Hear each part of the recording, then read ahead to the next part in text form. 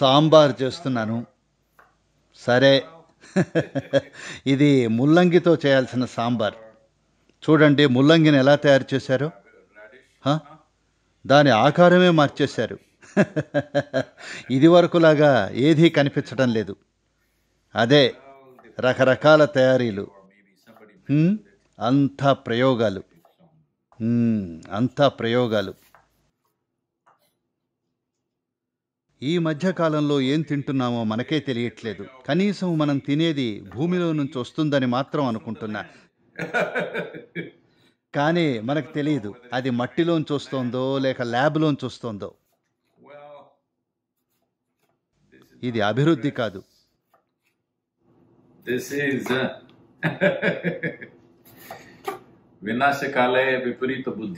What it means.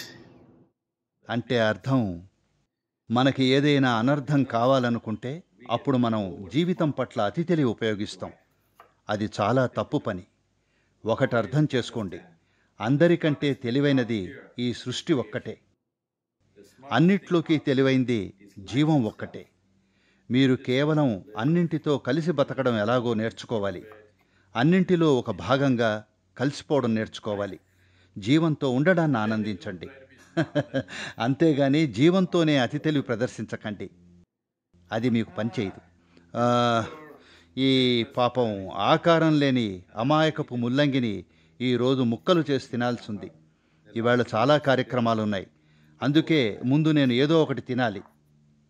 Sambar అన్నం. నేను south Indian కదా.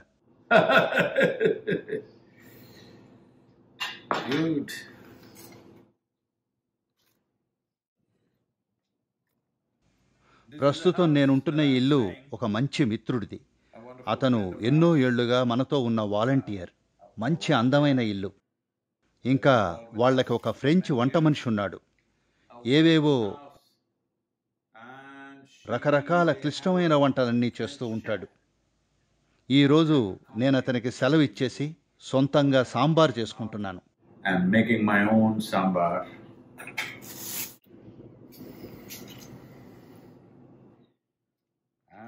నేను మీకు నా సాంబార్ ఇవ్వటం లేదు. ఎందుకంటే ఒక్కసారి నా సాంబార్ రుచి చూశారంటే మీరు నాకు బానిసలైపోతారు. అది నాకు ఇష్టం లేదు.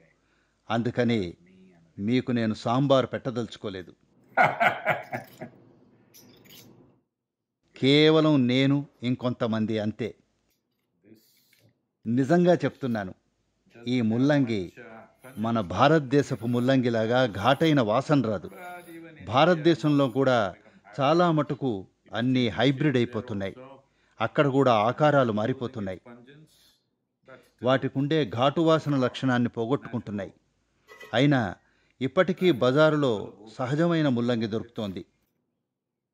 అవి నెమ్మదిగా అంతరించిపోతున్నాయి. మనం నిలబెట్టుకుంటామని ఆశపడుతున్నాను. ఎందుకంటే అసలైన విత్తనాన్ని సంరక్షించుకోవడం చాలా ముఖ్యం. మీరు మార్పులు చేస్తున్నా సరే దయచేసి మూల విత్తనాన్ని భద్రంగా ఉంచుకోండి. ఒక్కసారి వ్యాపారంలోకి ప్రవేశించిందంటే ఇంకా ప్రతిదీ మాయమైపోతుంది. పూర్తిగా. కాబట్టి మనం మూల విత్తనాన్ని జాగ్రత్తగా సంరక్షించుకోవాలి. ఆ అద్భుతమైన మహిళ వందనా శివ బీజ్ బచావో అంటోంది. ఇదెంతో ముఖ్యం. కాబట్టి మనందరం ఆ ఉద్యమానికి సహకారాన్ని అందించి విత్తనాలను అసలైన మూల బీజాలను సంరక్షించుకుందాం.